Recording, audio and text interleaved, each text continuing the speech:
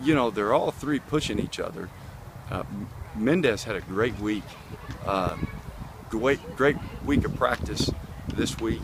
Uh, you know, he he started out a little slow today, but uh, but he's real solid. Probably our most versatile.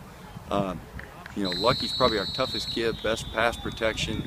Uh, can really hit, you know, inside run. He he's got to find uh, or can find a way to kind of find a crate, find a crease or find a crack, and uh, and hit it.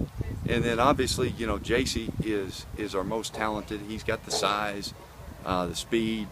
He's just, uh, you know, he's used to being the best player on the field, and still runs that way. Always kind of looking to bounce it to the outside. And uh, once he learns to stick his foot in the ground and get north and south, uh, he may be the best back in the in the conference.